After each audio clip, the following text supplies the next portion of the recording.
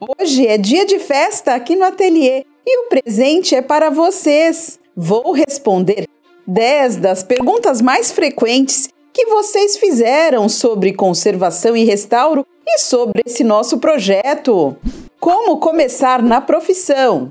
Onde fazer cursos? Como se restaura livros antigos? E até algumas perguntas pessoais. Afinal, nosso perfil no Instagram chegou a mil inscritos. E nós não poderíamos deixar passar em branco e agradecer a todos vocês que nos apoiam. Muito obrigada, amigos! Olá, eu sou a restauradora Cristina Sanches quando começamos esse projeto de divulgação da conservação e restauro e de valorização do patrimônio cultural e artístico, eu nunca poderia imaginar tantas pessoas que pudessem se interessar e apoiar o nosso projeto. Afinal, não é fácil se dedicar tanto, principalmente se a divulgação do vídeo fica prejudicada pela lógica atual das redes sociais. Ainda bem que vocês nos ajudam curtindo o vídeo e se inscrevendo aqui no canal. O apoio de vocês é indispensável para continuarmos com este projeto.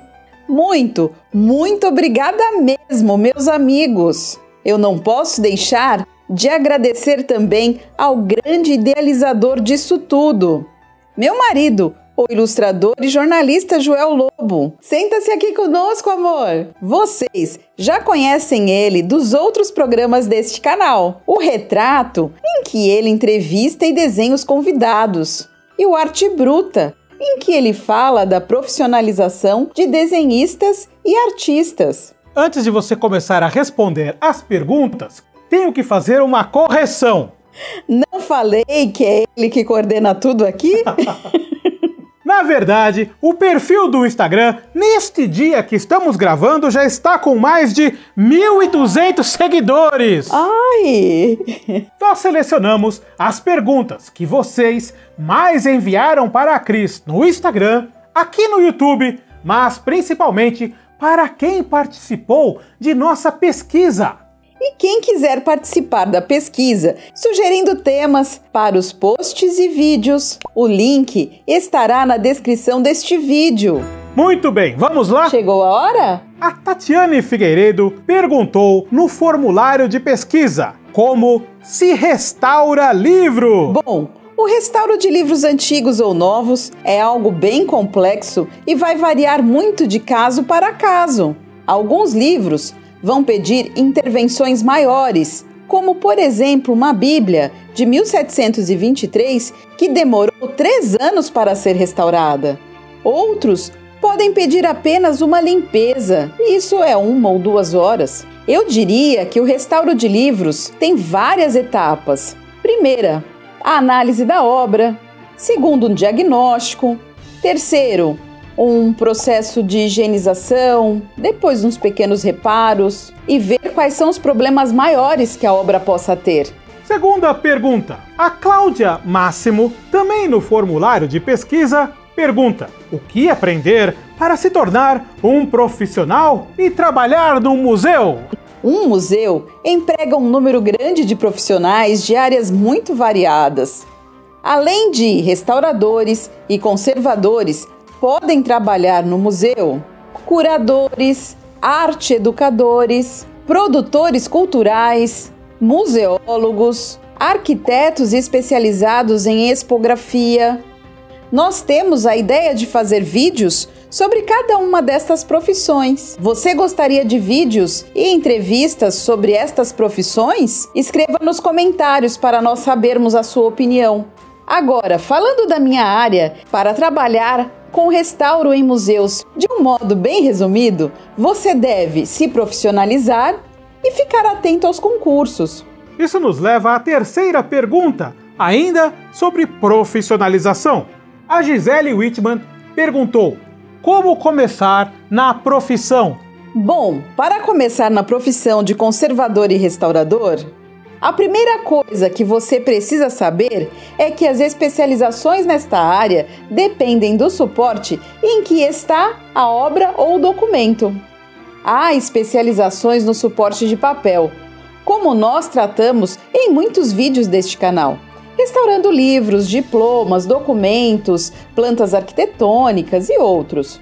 Há a especialização em suporte de tecido, que permite restaurar pinturas em tela, por exemplo, e diversas outras, couro, metal. Você tem que decidir qual a área te interessa mais ou quais áreas, porque também é possível se especializar em diversas áreas, fazer os cursos apropriados e também decidir se quer trabalhar no setor público ou no setor privado. Para cada especialização, haverão possibilidades diferentes, dependendo da região do país em que você está. E dependendo da situação do mercado da época, essas coisas variam muito. Aqui no canal e principalmente no Instagram, devemos tratar de temas ligados às possibilidades de mercado.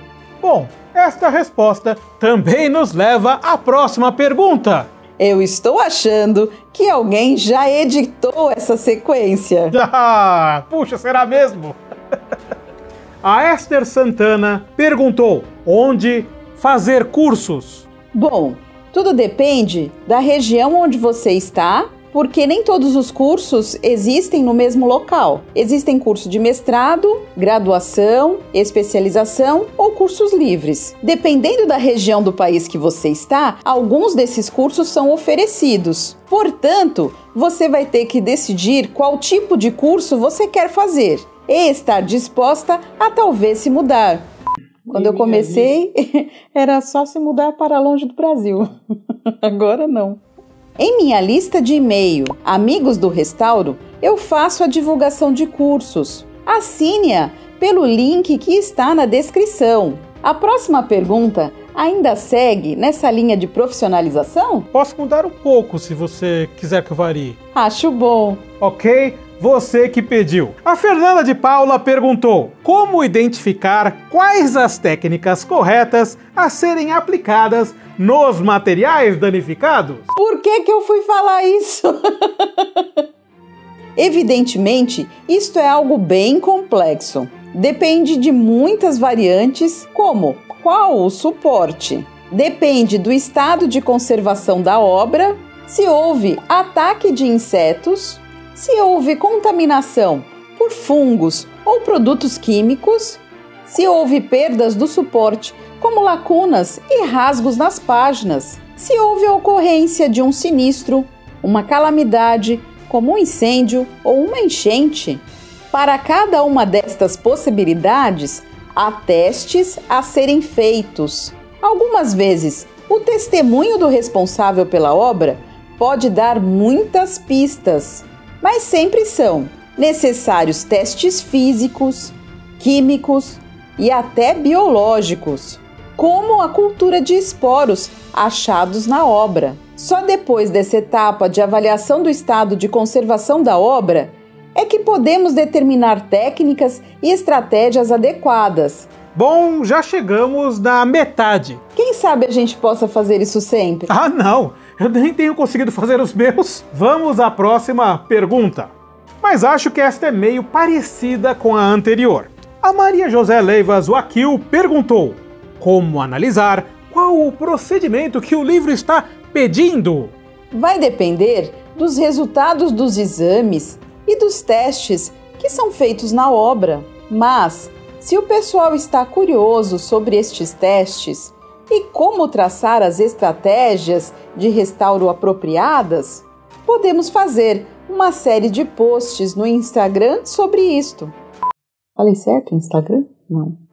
Podemos fazer uma série de posts no Instagram sobre isso. Nós fizemos um post sobre um teste químico para determinar qual o procedimento correto em um volume que foi danificado com cera de piso, não é? Sim, este caso foi bem interessante. A responsável pela faxina em uma instituição cultural acabou derramando cera de piso em uma obra.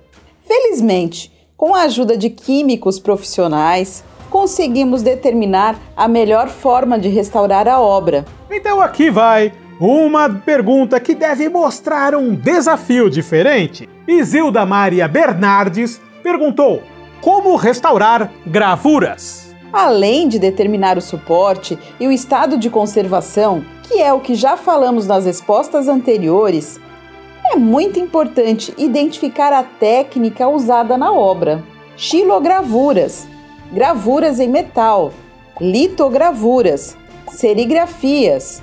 Cada uma destas linguagens podem trazer desafios diferentes para o restaurador. Por exemplo, serigrafias.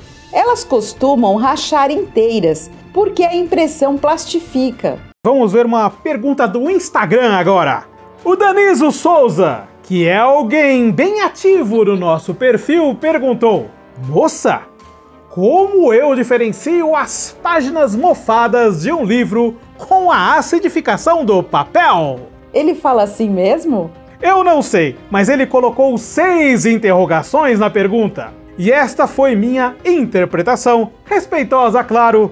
Daniso, adoramos a sua interação com nossos posts. Então, para identificar a diferença entre manchas do papel envelhecido das manchas causadas pelas terríveis infestações de fungos, você precisa entender que, para ter certeza, somente com uma análise profissional, o que você pode fazer em casa é identificar se as manchas possuem cores, pois somente os fungos darão às manchas tons diferentes da cor do fundo do papel. Se houverem cores como preto, vermelho, verde, certamente trata-se de infestação fúngica.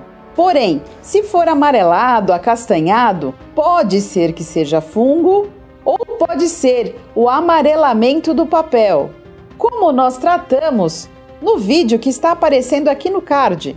Um profissional, para ter certeza, realizará testes biológicos, como a cultura de fungos. Evidentemente, não é um método que dá para se fazer em casa.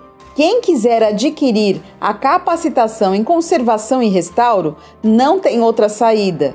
Tem que fazer os cursos de especialização e graduação.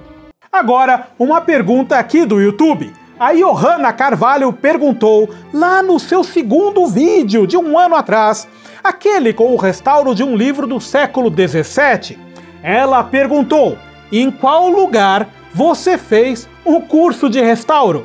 Meu currículo Lattes está na descrição de todos os vídeos. Mas, para resumir, eu sou mestranda em História das Ciências pela PUC São Paulo, bacharel em Artes Plásticas pela FAAP, me especializei em conservação e restauro no Senai Aber e estagiei no Secor.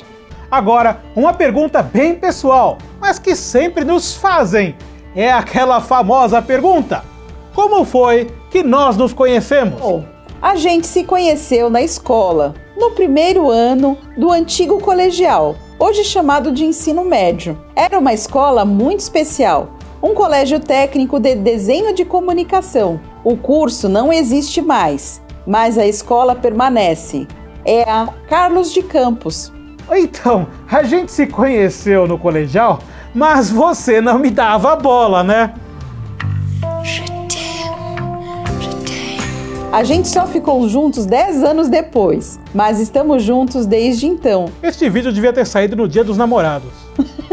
ano que vem a gente faz outro. Quem sabe comemorando 10 mil seguidores. Oh! Inscreva-se no canal agora para apoiar nosso trabalho e acompanhe essas playlists ensinando os cuidados corretos com os livros. E esta outra com o vídeo de conservação e restauro. Muito obrigada! Tchau!